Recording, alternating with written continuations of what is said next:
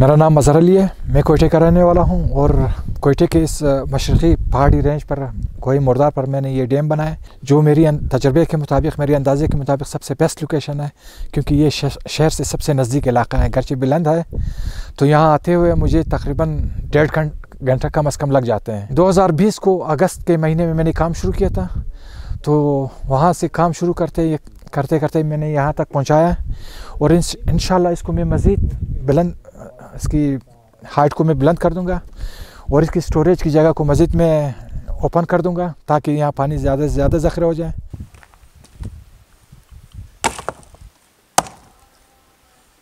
आप यकीन जानिए कि इसे आप अल्फाज में बयान नहीं कर सकते हैं।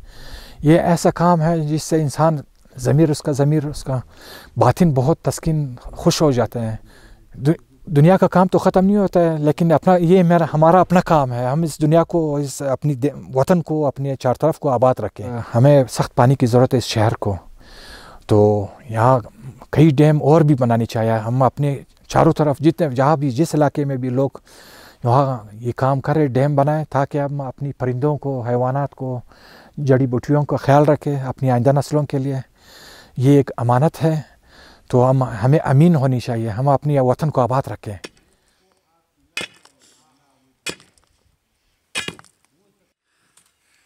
इस वक्त सबसे पहले जो वाटर सिक्रेसिटी है, वो बिल्कुल एक ग्लोबल इशू है। लेकिन अनफॉर्चुनेटली हमारे यहाँ इस प्रॉब्लम को कोई ऑन नहीं कर रहा। हर किसी को लगता है कि शायद ये मेरा मसला नहीं है, किसी और ने इस प्रॉब्लम को सॉल्व करना है। लेकिन अल्टीमेटली ये हम सब का मसला है।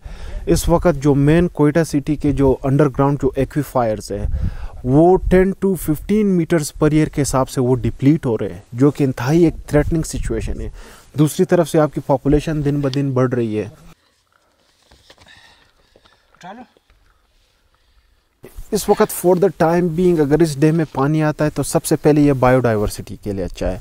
यहाँ पहाड़ों के अंदर बहुत सारे स्पीशीज़ पहले रहते थे, परिंदों के और दूसरे जो जानवर वगैरह थे, लेकिन दिन ब दिन वो एक्सटिंक्ट होते जा रहे हैं। वजह उसकी ये है कि कोई यहाँ पे पानी का ज़ख़ीरा नहीं है तो वो मतलब वो मजबूर हो रहा है कि वो माइग्रेट करे कहीं और पे चला जाए। तो पानी यहाँ पे ज़ख़ीरा होगा तो कम से कम वो बायोडाइवर्सिटी के लिए अच्छा होगा। दूसरी बात ये कि अगर यहाँ पे हमारा डैम फिल होता है।